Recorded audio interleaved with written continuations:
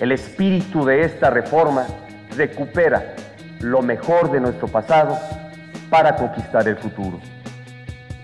Así, inicia una transformación educativa largamente esperada por la sociedad mexicana, de manera especial por alumnos, padres de familia y maestros de todo el país.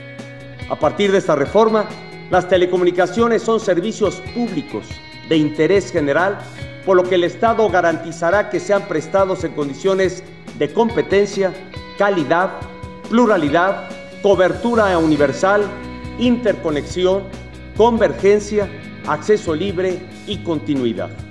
Esta es una reforma, al final de cuentas, incluyente.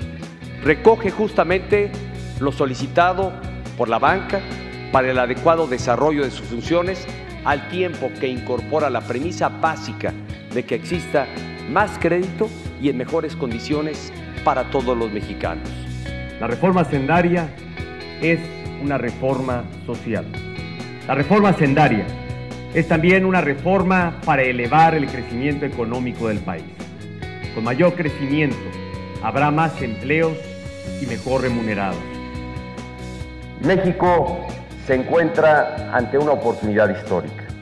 El país tiene la posibilidad de emprender una reforma energética capaz de transformar y elevar la calidad de vida de todos los mexicanos.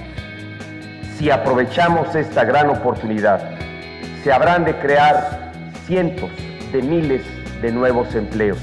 Cuando una legislación es rebasada por el avance colectivo, es indispensable actualizarla, ponerla en sintonía con las nuevas necesidades sociales y con los estándares internacionales.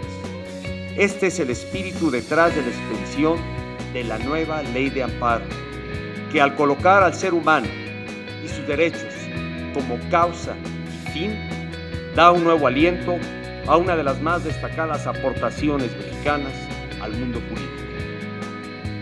Este día es significativo para México, pero también lo es para el mundo, porque lo que aquí se ha publicado, esta ley, es una ley en favor de los derechos humanos que no tiene precedente en ninguna otra nación. El Estado mexicano aspira a regresar esperanza y consuelo a las víctimas y a sus familiares.